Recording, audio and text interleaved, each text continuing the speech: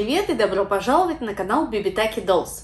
И сегодня я расскажу, как сделать мебель для кукольного дома. И давайте начнем с материалов, которые я буду использовать. Начну с основного, и это пенокартон. В моем случае это белый пенокартон э, шириной 5 мм. Второй материал это переплетный картон.